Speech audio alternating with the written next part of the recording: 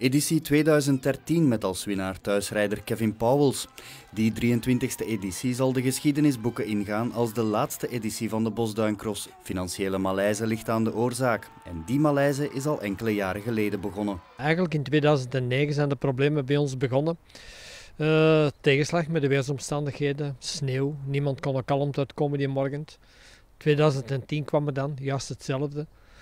Op de koop toe verlieren we in 2011 de wereldbekerveldrijden, waar we dan terugvallen op een losse wedstrijd.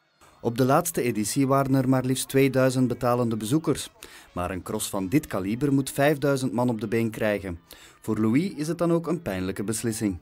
Al mijn vrije tijd ging daar naartoe. Ik heb daar ontzettend, ontzettend vele uren ingestoken. Geprobeerd er echt iets van te maken. Opgeklommen naar het hoogste niveau.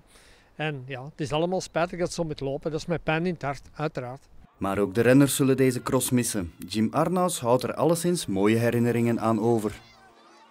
Ik reed hier ooit mijn eerste wereldbeker bij de jeugd en toen stond ik meteen op podium. En dat is toch wel iets dat bijblijft. Uh, ja, vooral die supporters, het is echt vrij volk. Ehm, en dat zijn toch dingen ja, die, je niet, eh, die je niet gaat vergeten. In het peloton weten ze dat de organisatie er alles aan heeft gedaan om dit te voorkomen. Het laatste jaar was aan kunstlicht, dat had wel iets. Uh, en, ja, ze deden er echt alles aan. Ze probeerden alles uit de hoek te halen om toch uh, nog publiek te krijgen.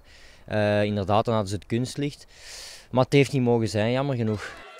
Enkele medewerkers zullen nu een nieuwe VZW oprichten om kleinere initiatieven te organiseren in Kalmthout.